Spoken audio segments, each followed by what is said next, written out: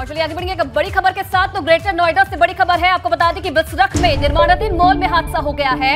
दो मजदूरों के गिरने से मौत हो गई है सिटी सेंटर मॉल में, चल रहा था निर्माण काम। बिसरख थाना क्षेत्र के गौर सिटी मॉल का ये पूरा मामला बताया जा रहा है तो बड़ी खबर निर्माणाधीन बिल्डिंग से गिरकर दो मजदूरों की मौत हो गई है। गौर सिटी मॉल में निर्माण कार्य चल रहा था, जहाँ पर अचानक से ये बड़ा हादसा हो गया। दो मजदूरों की मौत की खबर फ़िलहाल मिल रही है। बिस्रक थाना क्षेत्र के गौर सिटी मॉल का ये मामला है। ये बड़ी खबर ग्रेटर नोएडा में ये बड़ा हादसा हुआ, जहाँ दो मजदूरों की गिरने से मौत हो गई है।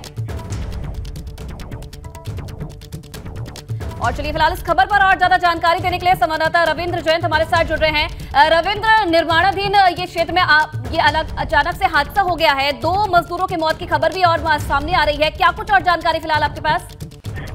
जी निर्माणधीन जो ये मॉल था इसकी जो काम चल रहा था उसी पर दो मजदूर गिरे उनकी इलाज के दौरान मौत हो गई उन्हें हॉस्पिटल पहुँचाया गया। हॉस्पिटल में डॉक्टरों ने मृत्यु घोषित कर दिया।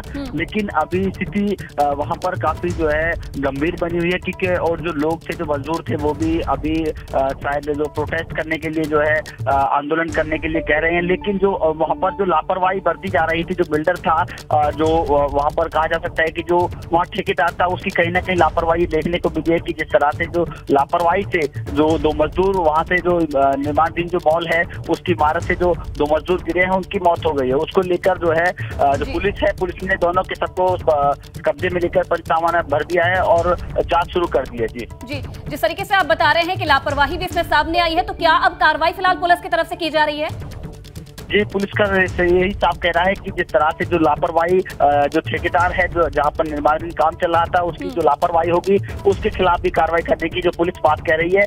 और पुलिस ने इस मामले में अभी फ़िलहाल बताया जा रहा है कि कुछ लोगों को हिरासत में भी लिया है कि जिस तरह से जो मॉल जो निर्माणाधीन मॉल था, जहाँ से वो लोग गिरे हैं तो हिरासत में लेने की भी जो पुलिस जो बात कह रही है अभी फ़िलहाल। जी। क्योंकि निर्माण कार्य चल रहा था उस दौरान दो मजदूरों की मौत हुई है। रविंद्र तो क्या अब निर्माण कार्य को रुकवा दिया गया है? क्या और जानकारी फ़िलहाल?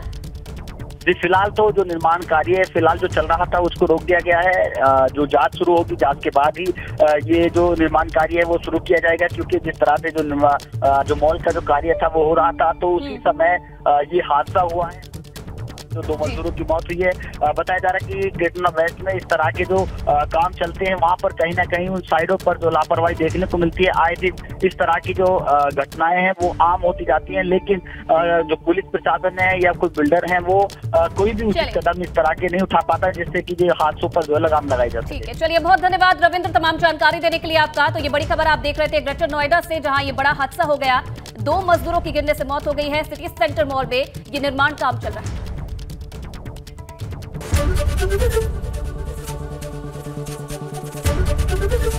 एबीपी गंगा खबर आपकी जुबा आपकी।